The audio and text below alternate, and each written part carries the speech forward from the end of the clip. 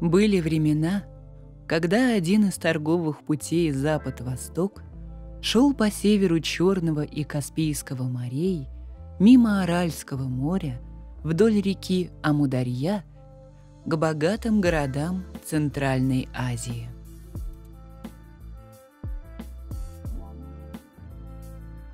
Вдоль дорог встречались караван-сараи и колодцы, где отдыхали между переходами люди и животные. На земле древнего государства Хорезм, недалеко от Амударьи, на вершине холма, стояла сторожевая крепость Ая-скала. Ее начали строить в IV веке до нашей эры. Она долгое время охраняла северные рубежи. Внизу под горой остались руины. Возможно, это была стоянка для путников. Однажды здесь остановились купцы, которых вел караван Баши. Мой караван остался на постоялом дворе. Сам я поднялся на крепость Ая-скала. Стражники поведали мне об этом месте на окраине пустыни Кызылкум. Отсюда путь на Хорезм закрыт для набегов кочевников с севера. Обрывы и стены защищают пограничную твердыню. Первые ворота ведут в небольшой двор, окруженный высокими стенами и башнями. Лучники сверху могли обстреливать неприятеля. Вторые ворота внутрь цитадели, там жилье для воинов, мастерские и хранилище на случай осады. Начинает темнеть. Я попрощался с начальником стражи и вернулся к шатрам под горой и устроился на ночлег. Удивительный сон перенес меня в город-призрак. Древняя Хива – некогда столица Хорезма. С минарета Ислам-Хаджа окунемся в историю этого края. В X веке Хива упоминается в летописях как небольшое поселение. Все изменилось в конце XVI века. Река Амударья из-за природных катаклизмов изменила свое течение. Вода отступила от столицы Хорезма, ныне старого Ургенча, и потекла по новому руслу.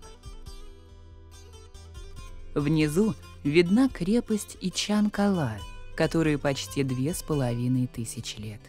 За это время она неоднократно ремонтировалась и меняла свой вид – только в фантазиях можно представить, какой она была в прошлом.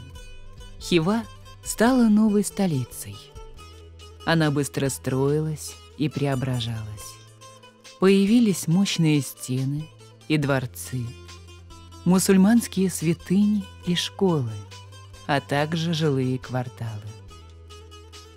Протяженность оборонительных стен более двух километров – это глиняные валы и башни, снаружи из сырцового кирпича с добавлением соломы.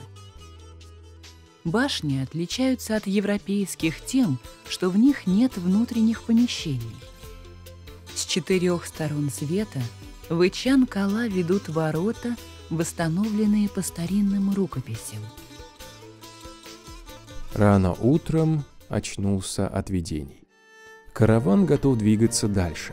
Недалеко от Ая-скала находится еще одна крепость. В это время там была ярмарка. Мы остановились показать товар и приобрести что-нибудь восточное.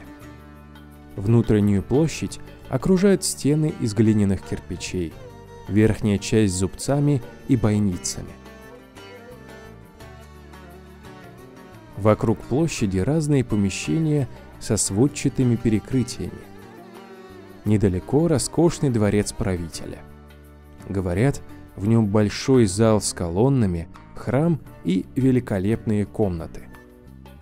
После дня базарного шума караван устроился на ночлег. Заходом солнца тишина опустилась на стоянку.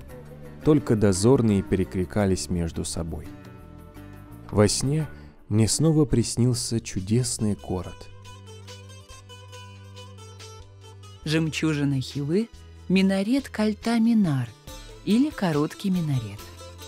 В середине XIX века узбекский правитель решил увековечить память о себе. По его плану начали строить самый высокий и богато украшенный минарет в Центральной Азии. Высота должна была быть 70 метров, диаметр основания 15 метров. Башня сужалась вверх для устойчивости при землетрясении. С внешней стороны она выложена плиткой и узорами. Время шло, хан умер. Строительство остановилось на отметке 29 метров. Всемирно известный минарет Кальта Минар остался короткий навсегда. Зато другой минарет, Ислам Хаджа, второй по высоте, около 60 метров. Поднимемся по узкой лесенке.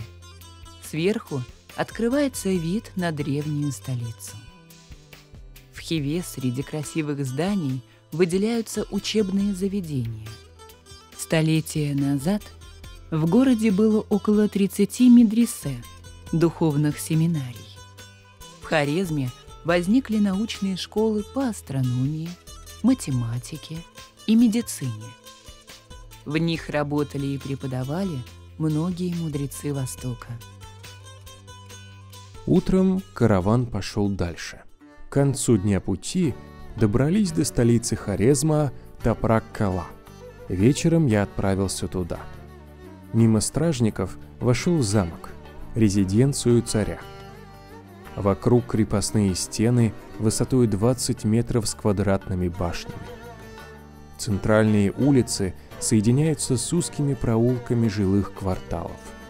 В них много домов, хозяйственных построек и небольших святилищ. Несколько тысяч человек проживает в замке. Многие работают в охране и в домах богачей. Дворец правителя возвышается могучей громадиной. Люди рассказывают, что его залы и комнаты богато украшены росписями и глиняной скульптурой. Меня порадовала большая базарная площадь, пустая в это время. Уже в темноте я вернулся к стоянке и сладко уснул. Во сне я очутился в том же прекрасном городе.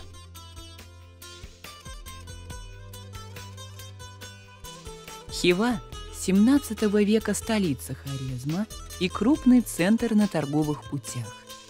Здесь велась торговля не только роскошью, но и рабами. Ханство вело постоянные войны с соседними племенами и государствами. С XVIII века начались постоянные конфликты с Российской империей. Потери были с обеих сторон. В 1873 году русские войска генерала Скобелева взяли штурмом Хиву. Хорезм признал власть белого царя Александра II. Отменилось рабовладение, и русские купцы получили право беспошлиной торговли. Наступил мирный период. В революционный 20 век установилась советская власть в этом крае. В наше время город расположен в республике Узбекистан. Тревожный сон прошел, мы собрались в дорогу. Через несколько дней дошли до небольшого городка. Солнце зашло за горизонт. Я бродил по опустевшим улочкам. Передо мной, как мираж из сна, вставали дивные здания города-призрака. Жители называют его Хива – Завтра по караванному пути мы отправимся дальше, в Бухару и Самарканд.